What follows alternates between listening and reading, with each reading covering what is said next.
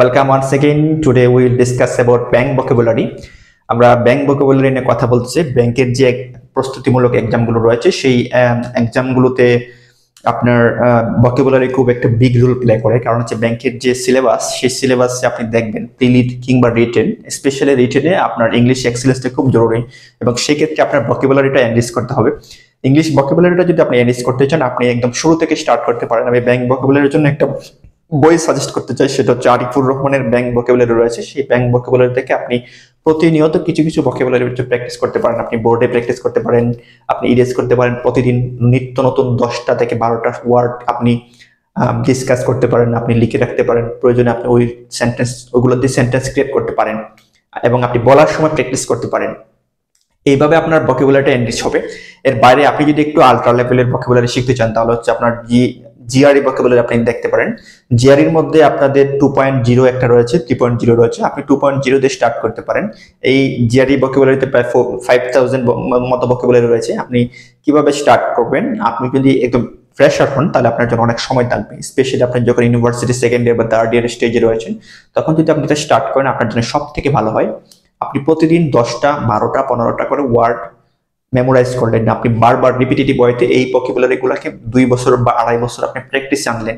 তাহলে আপনার একটা ভকেবুলারি এবং ইংলিশে বলার যে ফ্লুয়েন্সি সেই ফ্লুয়েন্সিটা একটা অন্য লেভেলে আপনার পৌঁছে যাবে। কারণ হচ্ছে আপনার একটা লাইন ক্রিয়েট করতে গেলে আপনার দরকার ওয়ার্ড আপনি ওয়ার্ড কখন ক্রিয়েট করতে পারবেন? যখন হচ্ছে আপনার আপনার ব্রেইনে আপনার কিছু ভকেবুলারি সেট করে থাকবে। আমাদের ব্রেনে কতগুলো ভকেবুলারি থাকে, আমাদের খুব বেশি ভকেবুলারি থাকে না, আমাদের কিন্তু ডে বাই ডে প্র্যাকটিস করে এই জায়গাটাকে এক্সেলেন্সটাকে অন্য লেভেলে নিয়ে যেতে হয়। কারণ আপনি যখন ফ্লুয়েন্টলি ইংলিশ বলতে পারছেন you are an asset for any company or any institution কারণ হচ্ছে আমি শুধুমাত্র ফ্লুয়েন্টলি ইংলিশ বলতে পারার জন্যই আপনাকে হয়তো বাইবাতে অন্যরকম অন্যরকম ভাবে জাজ করা হতে পারে। আমি বলছি না যে আপনি বাংলা ছেড়ে ইংলিশ দেখবেন, আপনি বাংলার পাশাপাশি ইংলিশের ফ্লুয়েন্সিটা আপনার জরুরি। কারণ হচ্ছে আপনি যখন ফরেন সার্ভিসে জব করবেন স্পেশালি ফরেন সার্ভিস বা আদার সার্ভিস আপনি যখন জব করবেন, তখন হচ্ছে আপনাদের অনেক সময় দেশের বাইরে যেতে হতে পারে বা আপনার যখন, আপনি যখন কোনো কোম্পানিতে জব করেন, তখন আপনার কোম্পানির ডেলিগেটদের সাথে ইংলিশে কনভারসেশন করতে হতে পারে।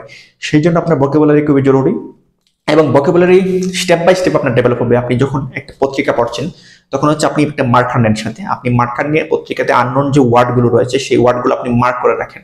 আমি বলছি না সেই ওয়ার্ডগুলো আপনি ডিকশনারিতে খুঁজে খুঁজে বের করবেন। আপনি এই ওয়ার্ডগুলো প্রতিনিয়ত মার্ক করতে থাকবেন, যেগুলো আপনার আনকমন মনে হয়।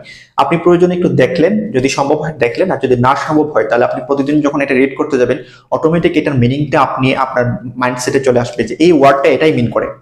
এরকমভাবে আপনি শিখতে পারেন। এর বাইরে আপনার ব্যাংক ভোকাবুলারির জন্য আপনি আরেকটা কাজ করতে পারেন। আপনি প্রিভিয়াস ইয়ার কোয়েশ্চেন যেগুলো রয়েছে স্পেশালি যে আপনার ব্যাংকের সিলেকশন কমিটি যে এক্সামগুলো নিয়ে থাকে প্রিলিমিনারি এক্সামগুলো সেই প্রিলিমিনারি এক্সামগুলোতে আপনি প্রিভিয়াস কোয়েশ্চেনগুলো আপনি অ্যানালাইসিস করতে পারেন।